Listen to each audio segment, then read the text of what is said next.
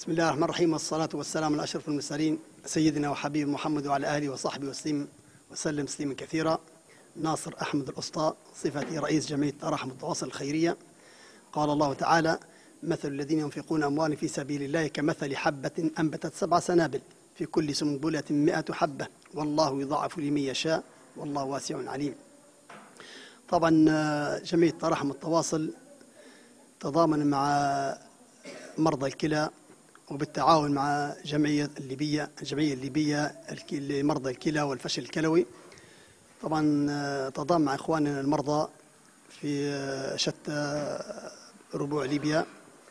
طبعا آه، فيه نقص في في العدة مدة التشغيل والأدوية طبعا آه، درنا هذه الحملة تطوعا منا لأهل الكلى أعضاء جمعية التراحم التواصل بحيث أن نوزع الصناديق هي اللي أمامكم. على المساجد وعلى المدارس التعليمية ومحلات التجارية. طبعا نسقنا في بداية مع وحدة أوقاف تأجورة حيث ينبهوا على الخطبة القادمة إن شاء الله يوم الجمعة القادم على هذه ال- ال- الحملة والتبرع في بالمبلغ المالي. واحد قال شي على شنو يقدر؟ جنيه ثلاثة أربعة خمسة. وطبعا والمدارس كذلك حتى نسخنا مع مكتب تعليم تجرى مسؤول. طبعا نحطوا الصناديق في المدارس.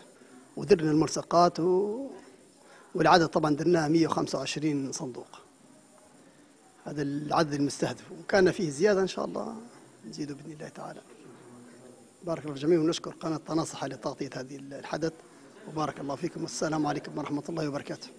فهذه انطلقنا بإذن الله حننطلق في هذه ال- الحملة وذلك بتوزيع صناديق على المدارس والمساجد والمحال الت- التجارية آه، آه،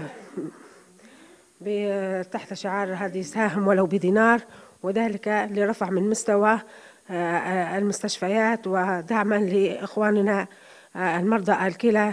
نسأل الله لهم الشفاء والعافية.